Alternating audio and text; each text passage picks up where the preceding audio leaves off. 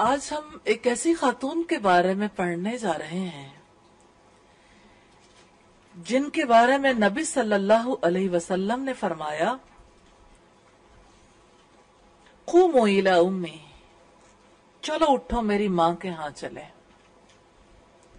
آپ جانتے ہیں رسول اللہ صلی اللہ علیہ وسلم کی والدہ کا نام آمنہ تھا۔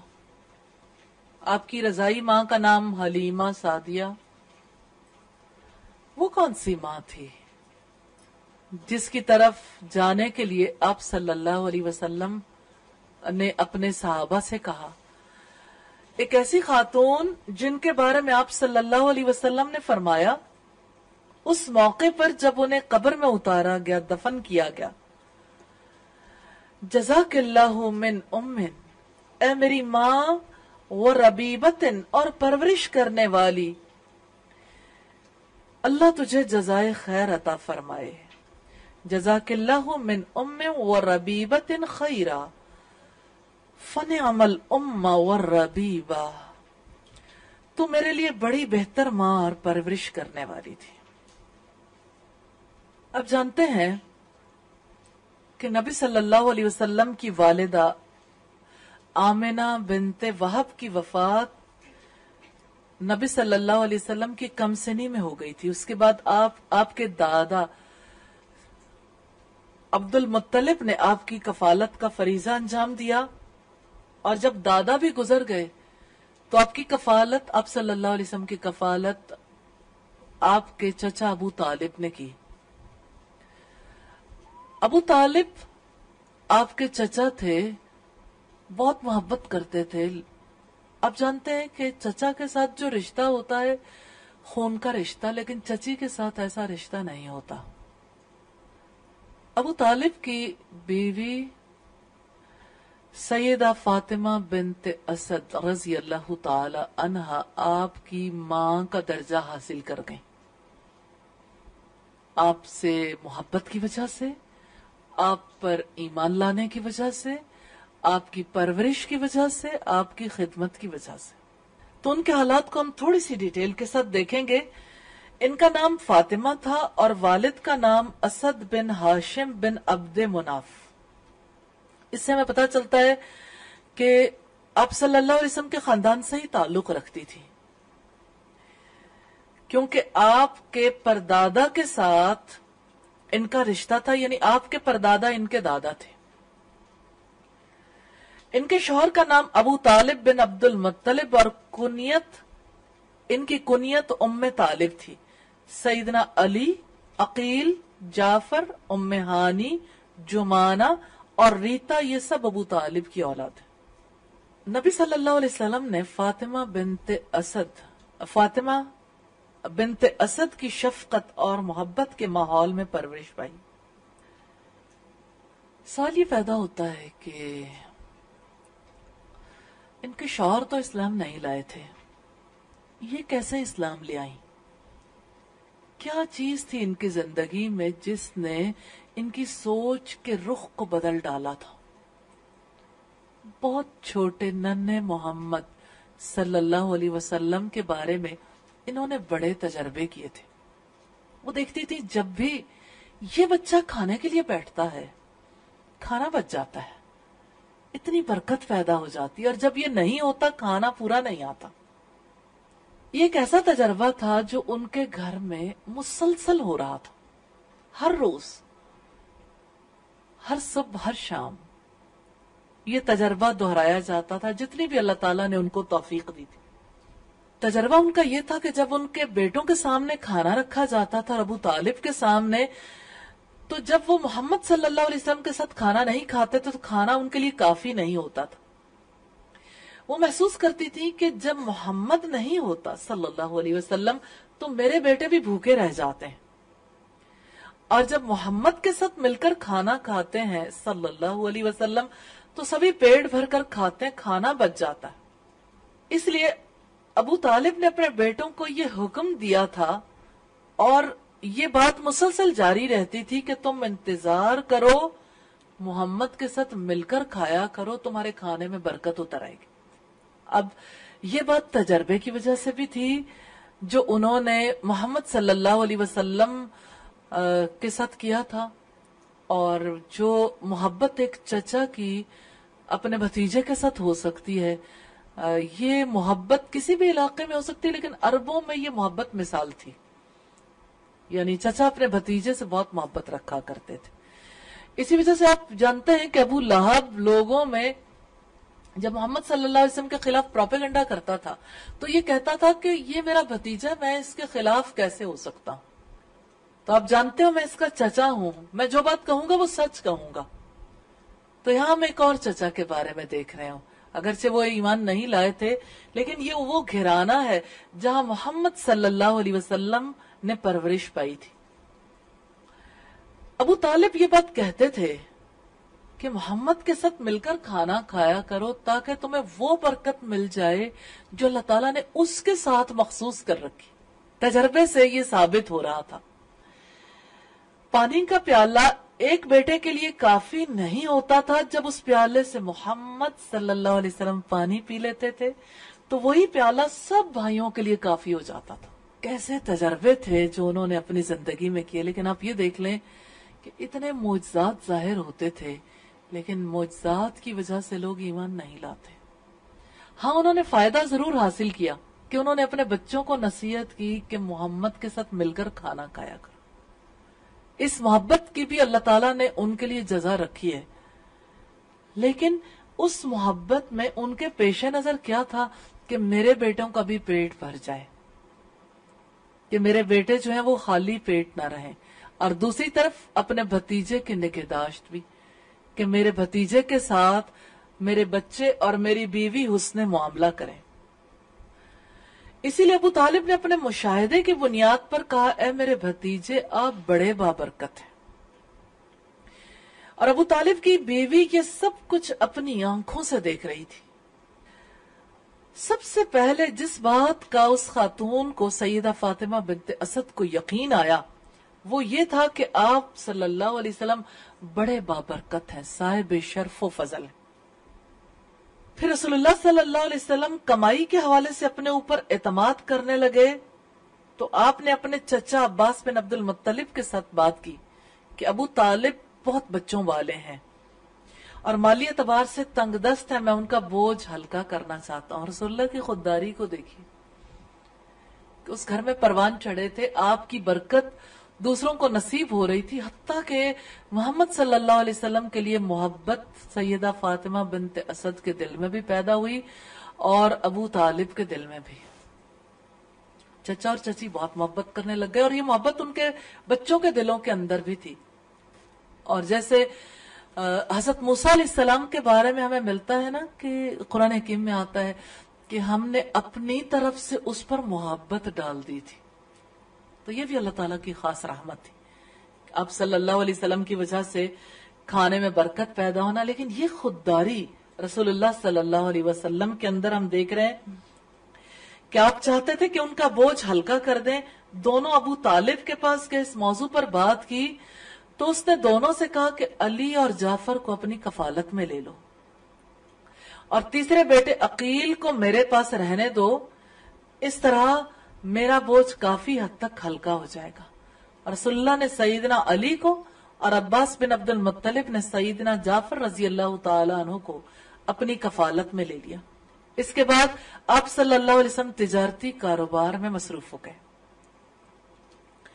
یہ ہم نے یہ دیکھا کہ یہ وہ گھرانا تھا جنہوں نے نبی صلی اللہ علیہ وسلم کی کفالت کی، آپ کی پرورش کی، آپ کی برکتوں سے فیض حاصل کیا۔ لیکن یہی وہ گھرانا ہے جنہوں نے آپ کی کمائی بھی کھائی۔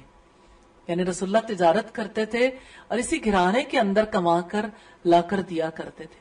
اور انہی کے بچوں کو آپ صلی اللہ علیہ وسلم کی وجہ سے کفالت ملی یعنی ایک آپ کے چچا عباس بن عبد المطلب کے حصے میں آئے، حضرت جعفر، اور دوسرے حضرت علی نبی صلی اللہ علیہ وسلم کی کفالت میں آئے۔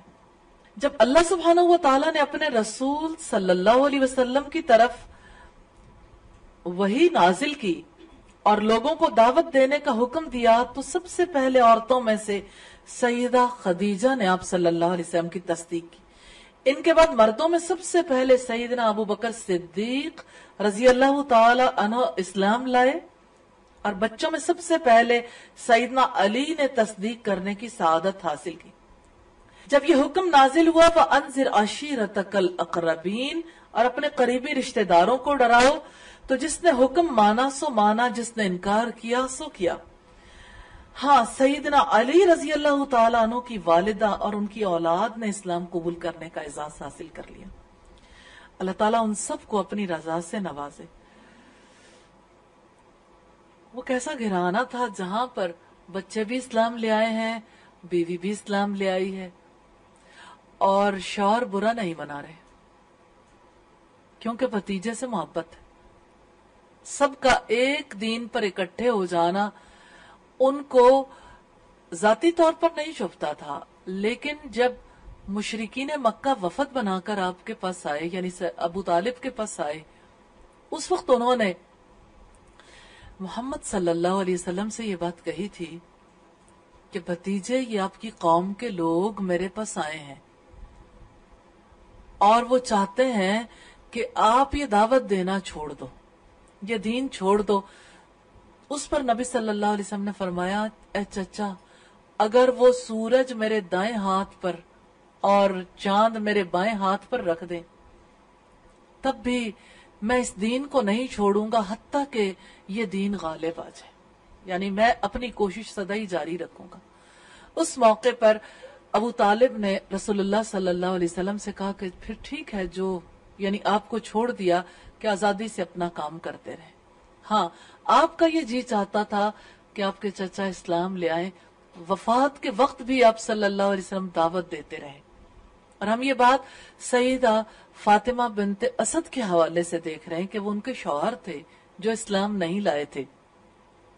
وفات کے وقت بھی جب آپ نے دعوت دی، تو اس موقع پر کفار قریش کے جو سردار تھے، انہوں نے کہا کہ عبد ابو طالب، کیا تم عبد المطلب کا دین چھوڑ دو گے؟ اس موقع پر آخری الفاظ ان کے یہ تھے حالانکہ آپ صلی اللہ علیہ وسلم بار بار کہہ رہے تھے کیا چچا ایک بار کلمہ پڑھ لیں میں اللہ کے ہاں آپ کی سفارش کروں گا۔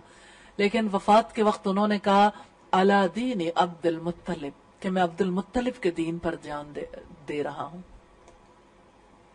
بہرحال ایسے شخص کے ساتھ رہنا ایک مومن کے لیے ہے تکلیف دے بھلے سے وہ اپن یعنی دین پہ اعتراض نہ بھی کرے۔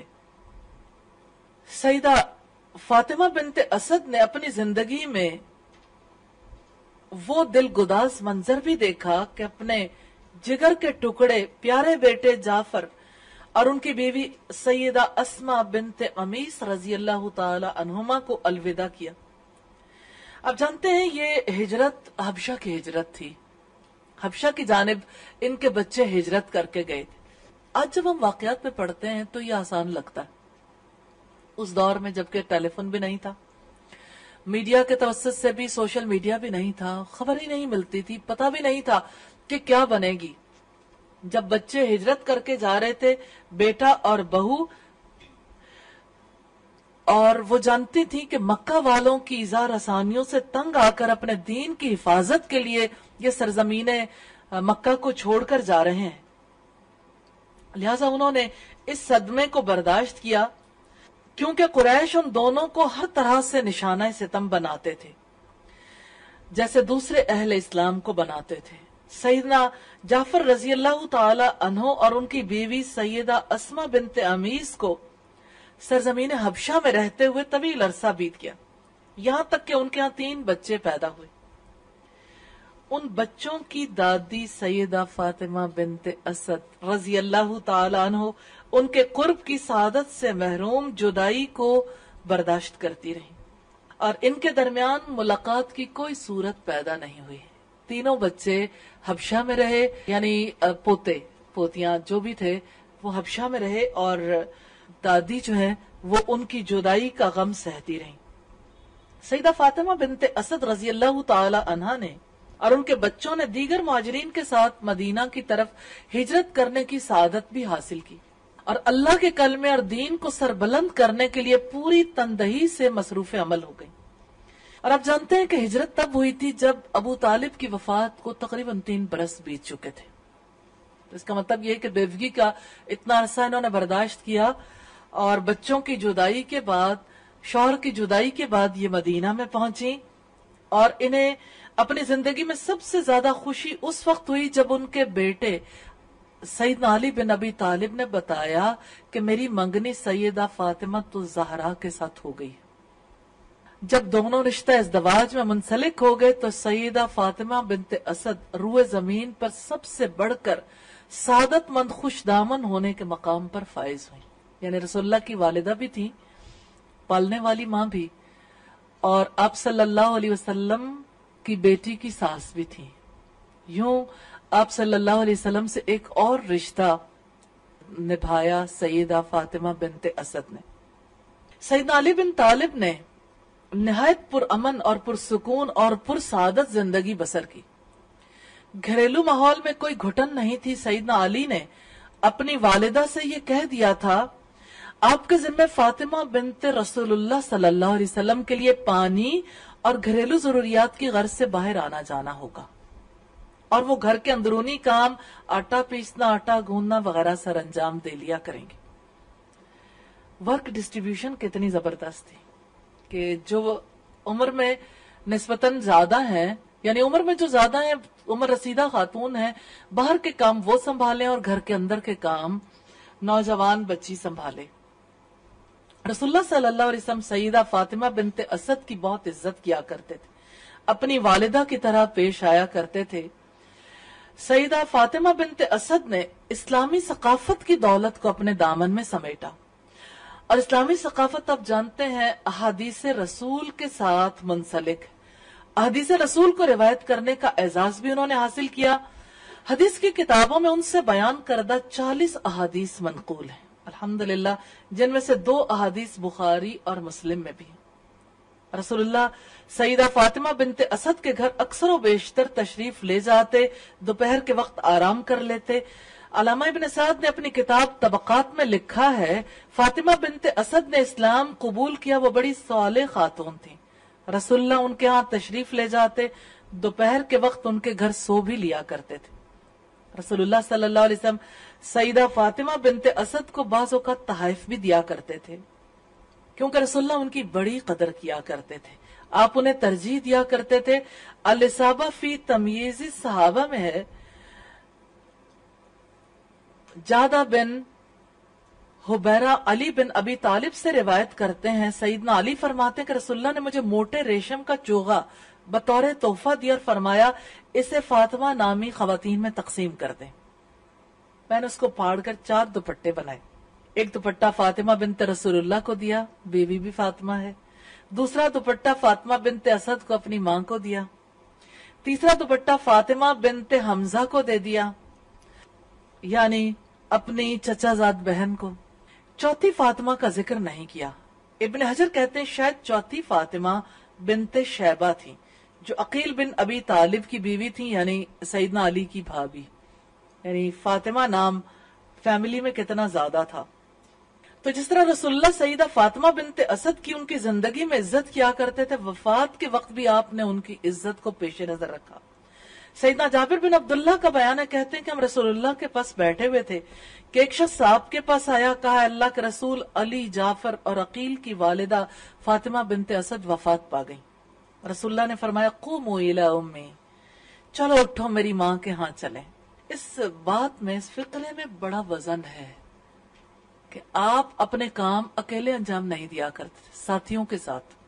کو میلا امی چلو میری ماں کے ہاں چلے ہم سب اٹھ کھڑے ہوئے، ہم اس طرح سہمے ہوئے تھے جیسے ہمارے سروں پر پرندے بیٹھے ہوں۔ جب ہم گھر پہنچے تو رسول اللہ نے اپنی کمیز اتاری اور فرمایا جب تم اسے غسل دے لو تو کفن سے پہلے اسے یہ کمیز پہنا دینا۔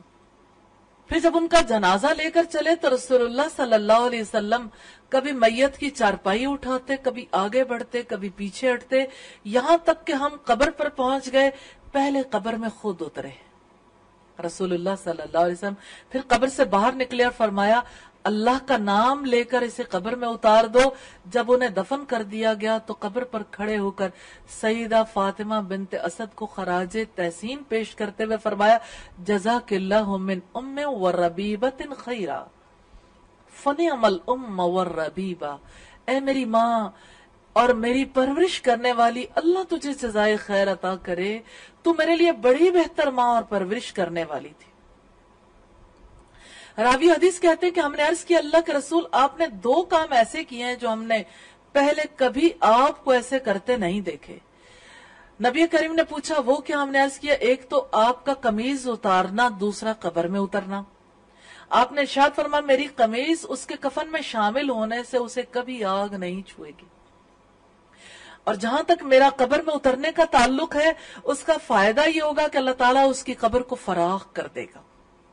پھر آپ صلی اللہ علیہ وسلم نے فرمایا، یہ خاتون میرے لیے میری حقیقی ماں کی طرح تھی۔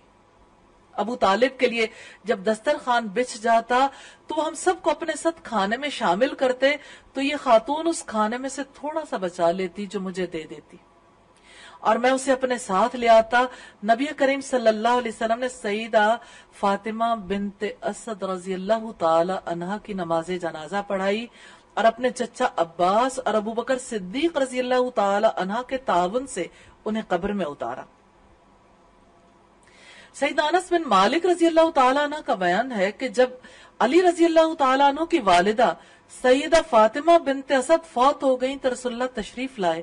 ان کے سرحانے بیٹھ گئے اور فرمایا، اے میری ماں، تجھ پر اللہ کی رحمت ہو۔ تو نے میری حقیقی ماں کے بعد میرے لیے ماں کا کردار ادا کیا۔ اے میری ماں، تجھ پر اللہ کی رحمت ہو۔ تو خود بھوکی رہتی، مجھے خوب کھلاتی، مجھے لباس پہناتی، خود اچھا نہیں کھاتی تھی، بلکہ اچھا کھانا مجھے کھلا دیتی تھی۔ اور اس سے محض اللہ کی خوشنودی اور جنت مطلوب ہوتی تھی، یہ روایت مجموع زوائد کی سیدنا عبداللہ ابن عباس رضی اللہ تعالی عنہ کا بیان ہے کہ جب سیدنا علی رضی اللہ تعالی عنہ کی والدہ سیدہ فاطمہ بنت اسد وفات پا گئی تو رسول اللہ نے اپنی قمیض کفن میں شامل کر دی اور خود ان کی قبر میں لیٹے اور ان کے لیے جزائے خیر کی دعا کی۔ صحابہ نے عرض کی اللہ کے رسول، آپ نے اس سے پہلے اس طرح کبھی نہیں کیا رسول اللہ نے فرمایا، ابو طالب کے بعد یہ خاتون میرے ساتھ سب سے بڑھ کر حسن سلوک سے پیش آئی۔ ہے میں نے اس کو اپنی قمیض اس لیے پہنائی ہے تاکہ اسے جنت کے چوغے پہنائے جائیں۔ اور اس کی قبر میں اس لیے لیٹا ہوں تاکہ یہ قبر کے عذاب سے محفوظ رہے۔ یہ تھا رسول اللہ کا حسن سلوک، اپنی دوسری والدہ سیدہ فاطمہ بنت اسد ہاشمیہ رضی اللہ تعالی عنہ کے ساتھ۔ اللہ تعالی انہیں جزائے خیر عطا فرمائے۔ نبی صلی اللہ علیہ وسلم کی پرورش، نگہداشت، آپ کی محبت، آپ صلی اللہ علیہ وسلم کے تعلق کی بنا پر اللہ تعالی انہیں ان کی ہجرت پر اجر عطا فرمائے اور اپنے بچوں کی ہجرت پر صبر کرنے پر انہیں اجر عطا فرمائے۔ اور اللہ تعالیٰ سے دعا ہے کہ وہ ان سے راضی ہو جائے اور وہ اپنے رب سے راضی ہو جائے